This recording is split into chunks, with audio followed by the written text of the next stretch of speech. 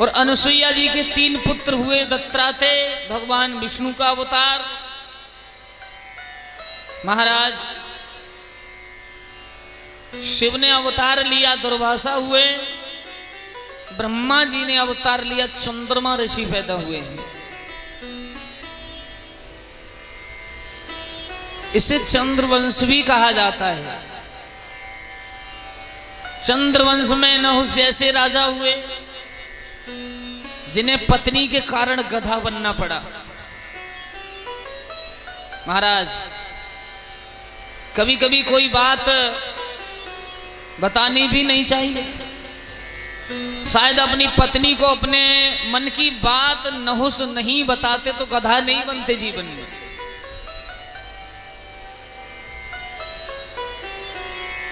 इसी वंश में अयाति हुए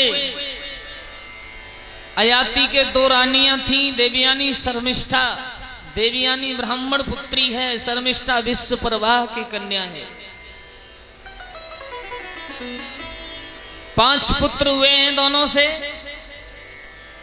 जिनमें यदु नाम का पुत्र प्रसिद्ध हुआ, जिसके नाम पर यादव कहलाए। पुरु नाम का पुत्र दूसरा था, उसके नाम पर पुरवंश चला है, यदु के नाम पर यदुवंश चला। इसी वंश में महाराज दुष्यंत हुए, जिनकी रानी का नाम शकुंतला था, जो कड़व ऋषि की पुत्री थी। जिनके एक महान सुंदर बालक का जन्म हुआ, जिसका नाम उन्होंने भरत रखा और उसी भरत के नाम पर हमारे देश का नाम भारत पड़ा। उन्हीं महाराज के हस्तन हुए, जिनके नाम पर हस्तनापुर बसा हस्तनु के कुरु हुए, जिनके नाम पर कुरुक्षेत्र बसा। इसी वंश में महाराज शांतनु हुए हैं, जिन्होंने स्वयं गंगा से विवाह किया है।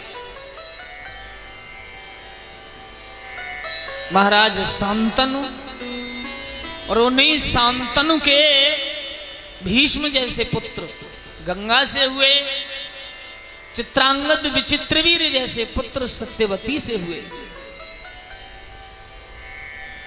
इनको मृत्यु प्राप्त होने के बाद अंबा अंबालिका से महाराज पांडु और महाराज धृष्टराज विदुर जैसे अवतार हुए।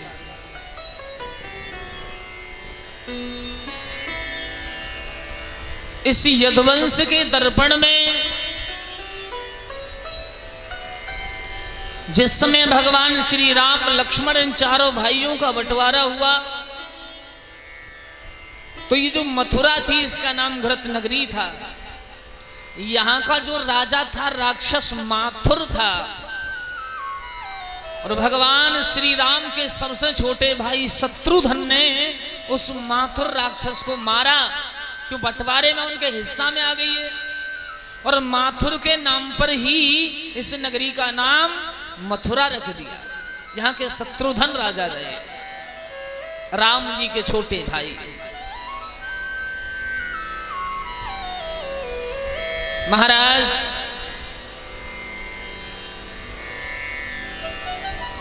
मथुरा में बड़े ही भावात्मक राजा थे जिनका नाम था आहुक। और महाराज आहुक के दो पुत्र हैं उग्रसेन और देवक। देवक की छह बिटिया हुई और आहुक जो थे, उनके दो पुत्र, फिर से बता रहा हूँ उग्रसेन और देवक देवक के छह बेटी हुई, जिनमें सबसे छोटी बेटी का नाम देवकी है, जिसकी कोख से भगवान कृष्ण स्वयं आए। और जो महाराज उग्रसेन हैं, उनकी देवी का नाम है पवन रेखा। अब मैंने बताया कि भगवान सब सुख किसी को नहीं देता। कोई तन दुखी, कोई मन दुखी, कोई व्यापारी से दुखी, कोई घरवारी से दुखी, कोई साली से दुखी, कोई ससुरारी से दुखी। महाराज, हर इंसान दुख के कारण ज़िंदगी जी रहा है।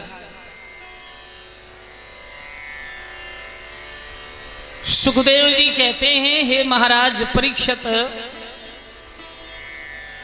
मथुरा बड़ा आनंदमयी जीवन जी रहे हैं सभी। राजा को दुख एक ही बात का है कि बस उनके जीवन में किसी बालक का उतार नहीं हुआ।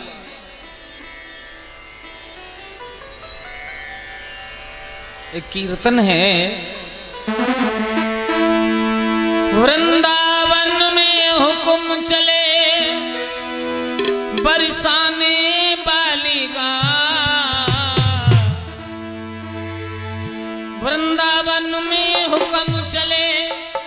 बरसाने बालिका